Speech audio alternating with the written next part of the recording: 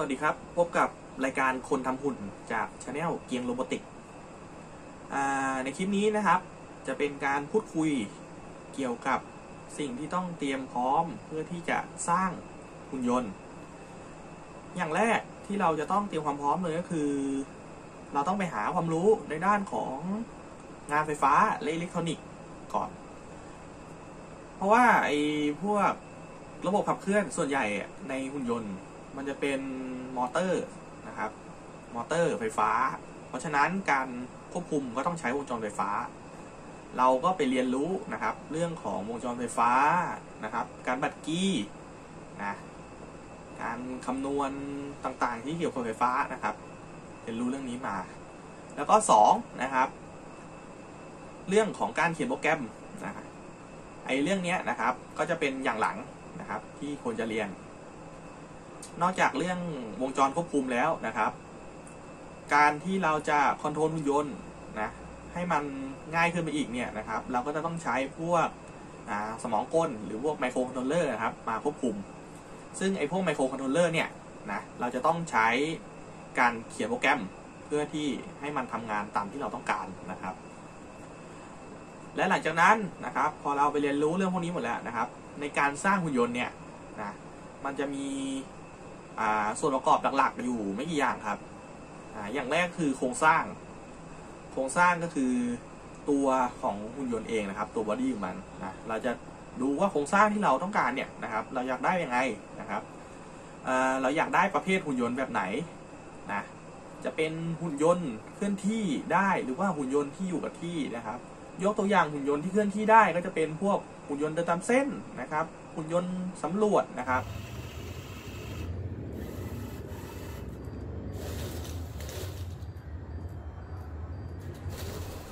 นอกจากนั้นนะครับก็จะเป็นพวกหุ่นยนต์ที่อยู่กับที่นะครับ เช่นเจ้าแขนกลตัวนี้นะครับ ลักษณะของมันคือจะติดตั้งอยู่กับที่นะทำงานอยู่กับที่นะครับ ไม่สามารถเคลื่อนที่ไปที่ไหนได้ ทีนี้นะครับ เมื่อเราออกแบบนะครับว่าเราอยากได้หุ่นยังไงนะครับ ออกแบบสำเร็จแล้ว ที่เราจะดูต่อไปก็คือเราจะใช้อะไรเป็นตัวขับเคลื่อนนะครับ ตัวขับเคลื่อนก็จะมีหลายอย่างนะครับ เช่นพวกมอเตอร์นะ ไฮดรอลิกนะครับหรือพวก pneumatic ต่างๆ ส่วนใหญ่ที่ใช้กันจะเป็นมอเตอร์ครับ มอเตอร์ก็จะมีแบ่งเป็นหลายอย่างอีกนะครับ จะมีเป็น servo motor มอเตอร์ DC ธรรมดา stepping motor นะครับ มอเตอร์ AC อะไรพวกนี้นะอย่างสุดท้ายก็คือวงจรควบคุม ซึ่งตัววงจรควบคุมเนี่ยนะครับ มีหน้าที่สำหรับควบคุมการทำงานของมอเตอร์ต่างๆนะครับ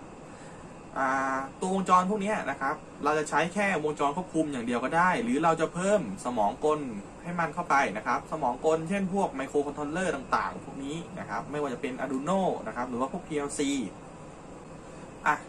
พอเรานะครับสามารถเลือกนะส่วนประกอบต่างๆ ได้แล้วนะครับ ทีนี้เราก็มาดูการสร้างกันนะครับ เริ่มต้นนะครับ เราไม่ต้องสร้างหุ่นที่มันอลังการอะไรมากมายนะครับ เราก็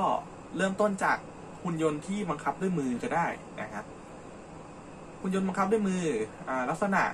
ให้เรานึกถึงรถบังคับครับ อารมณ์จะประมาณนั้นก็คือ เราทำวงจรเพื่อที่จะควบคุมหุ่นยนต์เรา ก็อาจจะเป็นวงจรสวิตปกตินะครับ ใช้สวิตกดเพื่อที่ให้หุ่นเดินหน้าถอยหลังเลี้ยวซ้ายเลี้ยวขวาอะไรพวกนี้นะแล้วก็ค่อยๆ ขยับขึ้นมาเป็นหุ่นยนต์ประเภท อัตโนมัติ เช่น พวกเดินตามเส้นก็ทำวงจรขึ้นมาในการอ่านค่าจากพวกอินฟราเรดอะไรพวกนี้นะครับ ให้มันเลี้ยวซ้ายเลี้ยวขวาแล้วก็ advance ขึ้นไปหน่อยก็จะเป็นเกี่ยวกับพวกเขียนโปรแกรมนะครับ ก็วนกลับมาที่หุ่นยนต์บังคับเหมือนเดิมก็ได้นะอาจจะใช้โปรแกรมในการรับคำสั่งจากบลูทูธเพื่อ control หุ่นยนต์ แล้วก็กลับมาที่หุ่นเดินตามเส้นเหมือนเดิม เปลี่ยนจากทำวงจรยุ่งยาก ก็เอาเซนเซอร์นะครับ มาต่อต่อต่อกับไมโครคอนโทรลเลอร์แล้วก็ให้ไมโครเนี่ยนะครับ ไปสั่งให้มอเตอร์ทำงานอีกทีหนึ่งอ่าพวกเขียนโปรแกรมอะไรเงี้ยนะครับ มันจะแก้ไขง่ายกว่าการทำวงจร พอเริ่มทำพวกนี้ชำนาญแล้ว เราก็กระโดดขึ้นไปเป็นการใช้งานพวก servo motor อ่า stepper motor ต่างๆ มาทำหุ่นยนต์นะไม่ว่าจะเป็นหุ่นยนต์ที่เคลื่อนที่หรือว่าหุ่นยนต์พวกแขนกลอะไรพวกนี้ครับก็พอเราเริ่มทำหุ่นยนต์ไปแล้วนะครับนะนอกจากทำตามนะครับ ไม่ว่าจะเป็น YouTube หรือว่าเป็น Google อะไรก็ตามเนี่ยนะครับ นอกจากทำตามแล้วเราควรศึกษารายละเอียดเกี่ยวกับพวกอุปกรณ์นะครับ พวกขั้นตอนวิธีการที่หุ่นยนต์มันเดินได้มันเดินเพราะอะไรนะครับ การจ่ายไฟให้มอเตอร์นะจ่ายอย่างไรนะครับ การเขียนโปรแกรมเขียนอย่างไรนะครับ เราควรศึกษานะครับ ลงลึกในรายละเอียดพวกนั้น พอเราศึกษาแล้วเนี่ยนะครับ ไม่ว่าเราจะทำหุ่นตัวเล็กหรือหุ่นตัวใหญ่เนี่ยนะครับ เราก็จะมีแนวคิดในการสร้างนะครับ มีกระบวนการคิดนะครับ ลักษณะมันจะคล้าย ๆ กันแหละครับ ทีนี้เนี่ยเดี๋ยวคลิปต่อไปนะครับ ผมก็จะทำการสอนนะครับ การทำหุ่นยนต์นะครับ เริ่มตั้งแต่พวก หุ่นเล็ก ๆ เลยนะครับ ใช้พวกไม้โตไม้ไอติมอะไรพวกเนี้ยนะจะได้ง่ายต่อการสร้างนะครับ แล้วก็ขยาย advance ขึ้นไปนะครับ ถึงขั้นใช้พวกอ่าไมโครโทรลเลอร์ในการควบคุมนะครับทำพวกแขนกลอะไรพวกนั้น การทำหุ่นนะครับ จะเป็นอย่างไรก็เดี๋ยวติดตามในคลิปต่อไปนะครับ ก็วันนี้ขอสวัสดีครับ